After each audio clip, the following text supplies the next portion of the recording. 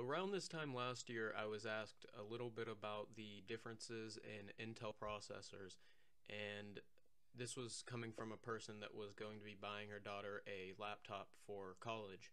So obviously it wasn't going to be used for any crazy performance or anything like that. So I tried to guide her in the right direction, but at the time I didn't really know perfectly what each core meant.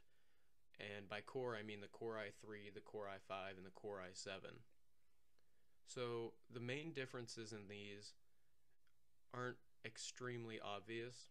So I'm going to go through and go off a couple differences in each. And if I forget a few, I apologize. I'm not pretending like I'm some crazy genius when it comes to this. I'm just going off what I did research wise when I built my computer and things that I've learned since building my computer, just talking to people and looking through websites on each different processor. So the Core i3 for desktops is really an entry level processor.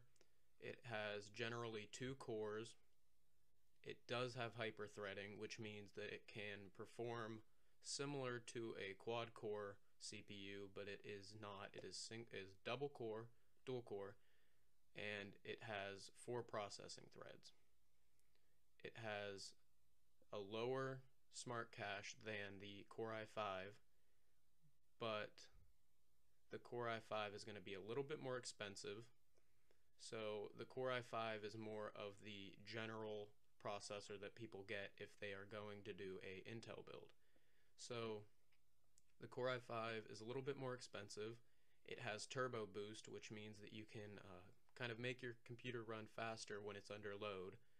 And it has four uh, physical cores, which means that it is able to do four actual processing threads, each on a single core. It does not support hyperthreading, and it has more smart cache than the Core i3.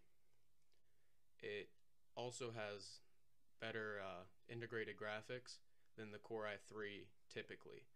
I say that because you can get an older i5 that has worse graphics than a newer i3, so I'm not going to get into that for this video because there is different generations of each processor.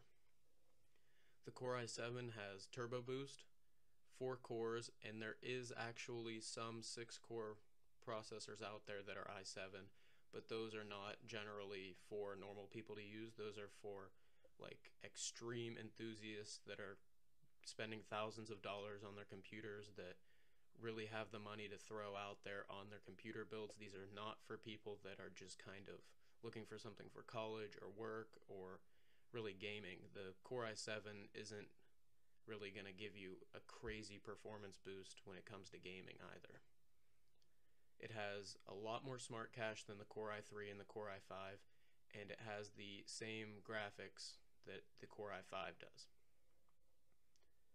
So generally, the uh, thermal output does not change with the Core i3, Core i5, and Core i7. They generally put out the same thermal output, and the uh, i5 and the i7 CPUs are really going to benefit from having uh, more than two cores, even though that the Core i3 has hyperthreading to simulate four cores with its uh, four processing threads. It's really not going to perform on the same level that four physical cores is going to, and the Core i5 is not going to perform as well as the Core i7 is going to, just because of the hyperthreading and the uh, increase in smart cache. So when it comes to mobile CPUs, that means things like your tablets and things like your different different uh, laptops. The uh, Core i3, the Core i5, and the Core i7 are a little bit different than the desktop processors. So I believe for all of the cores you have hyper-threading support but that does not really mean anything for the Core i3 and the Core i5 because the Core i3 has two cores and the Core i5 has two cores as well. So you're still going to get your increase in performance due to the differences in the Core i5 and the Core i3 architecture, but you're really not going to see a crazy, crazy jump in different processing actions because you have the same exact amount of processing threads. The Core i7, on the other hand, has four cores, hyper-threading, and an increase in smart cache.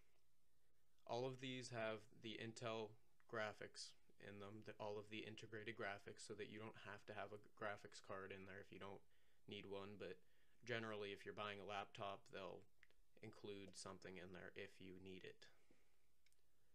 So the Core i5 and the Core i7 both sport the uh, Turbo Boost, uh, but the Core i3 does not.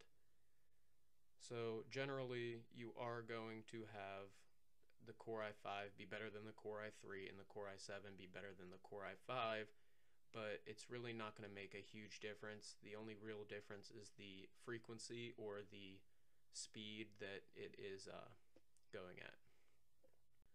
So that's pretty much all I have for today. That's the basic rundown on Intel processors. Uh, I'm still new to it, so don't take anything in this video like as a professional. I'm really not a professional. I just kind of know a little bit about each thing from different research, and I figured that I should wrap everything up into a small little video that I know of just for the people that are out buying laptops, buying desktop processors, and different things like that because I know not everyone is as informed as I am, but I know for a fact that there are more people out there that know more than I do. So if you still have questions, feel free to post. Feel free to tell me if I said anything wrong. I might have read something wrong on my uh, paper, or I might have thought something wrong and just said it weird. So feel free to point things out, and I'll be sure to go in and change anything that I said that was wrong. Thanks for watching.